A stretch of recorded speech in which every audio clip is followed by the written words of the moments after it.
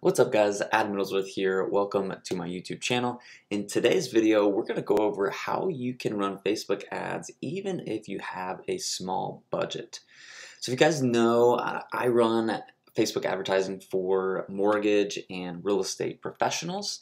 Uh, but in this video, we're going to cover not only mortgage and real estate, how you can uh, run Facebook ads with a small budget, but also if you are, you know, if you have a gym, if you have a chiropractic office, if you've got, um, you know, if you're a nail salon, restaurants uh, nationwide, even if you have like an agency, uh, we're going to go over all of that and kind of tips and strategies, Facebook hacks, if you will, how to run ads, even if you have a small budget, and then scale up from there. So we'll start with Facebook ads for mortgage loan officers and real estate professionals, how you can start on a small budget for you guys, uh, the easiest way that you can start on a small budget and get the best bang for your buck would be listings or homes lists, right? So uh, small budget being 5 10 $15 per day.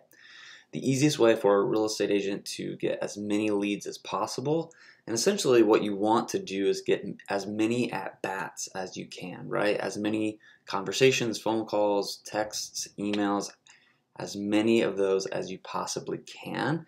And the easiest way to generate the most amount of leads possible for a real estate agent is listings. Now, with that said, listings can generate you a lot of fake leads, a lot of low quality leads.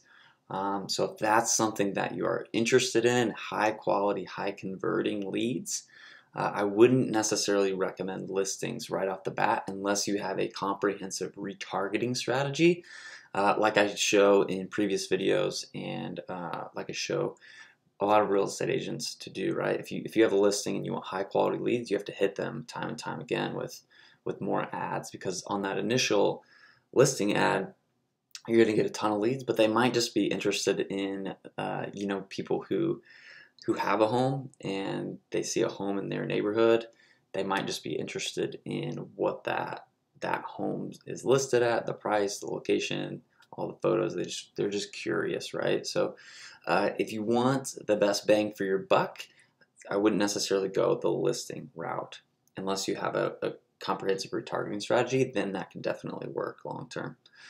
But if you are working on a small budget, then $5 a day will get you, you know, we could get you five lead, five to six leads a day on a $5 per day budget.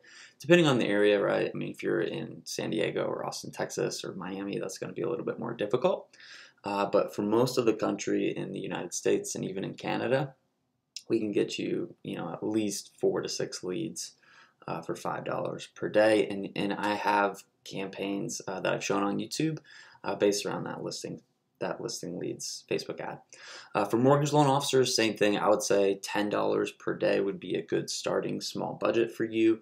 Um, and then you're going to want to go after the largest audience possible. If you have a small budget, that would probably be first time home buyers working on down payment assistance, um, 3% conventional, 3.5% FHA.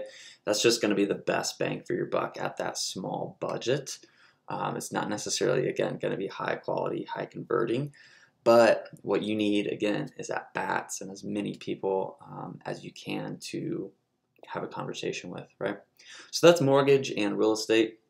If you have a gym or if you're a chiropractor office or if you have any other um, form of business, local business that is not real estate and mortgage, what you need to think about doing is uh, you need to basically acquire clients, sales at cost.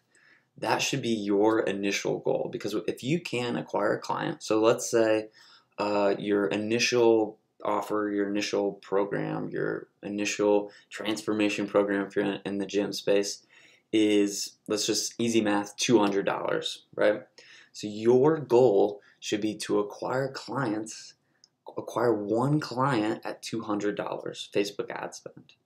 So your goal, client acquisition, $200 per uh, client with Facebook ad spend, right? If you can do that and keep those clients long term, if you have a lifetime value, say you know that if you get a new lead and they go through this program, they whatever it is, even if this is like nail salon stuff, guys, we have a lifetime value of your customer.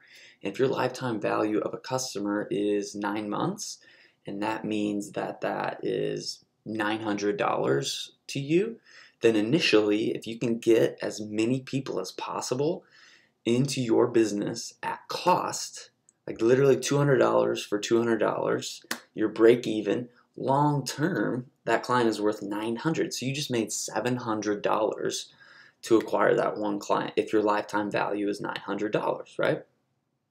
And then you do that over and over and over again, right?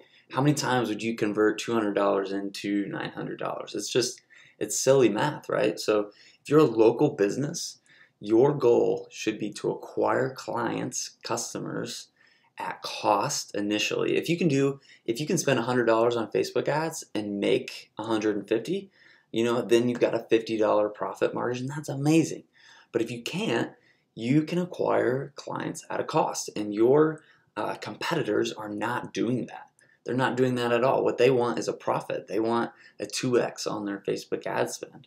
Even if you go and hire an ad agency and you spend $1,000 per month plus Facebook ads, and you can acquire all of those clients at cost in that initial month, then it's your job to keep those clients, get amazing results, whatever your business, and long term, make that into uh, profit for you, right? And, and make long term clients out of those initial uh, out of those initial Facebook ads and, and initial customers from Facebook ads, right? So that is local business, how you can create uh, a business from Facebook ads on a small budget, right? So if your budget is $10 a day, your goal is, and, and you have a, a $300 product, your goal is to get one client that month. And then the next month you can you can up that because they're probably going to sign on again for the next month, right?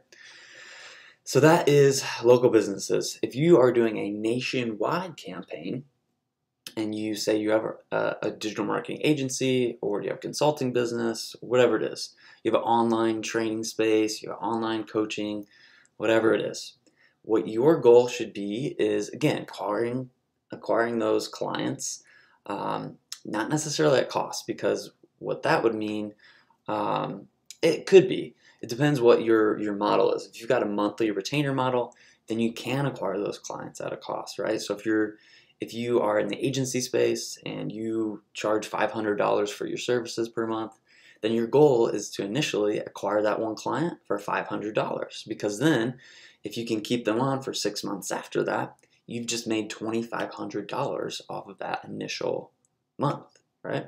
Makes a lot of sense.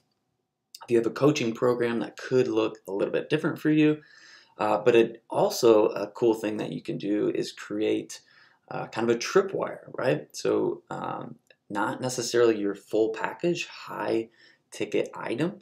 Um, you know, somebody might want to to invest a little bit smaller amount because they don't know you yet. They don't like you. They don't trust you. You're just some dude on the internet that, that they saw their ad and they're interested, right? So they don't want to they don't want to pay five hundred dollars.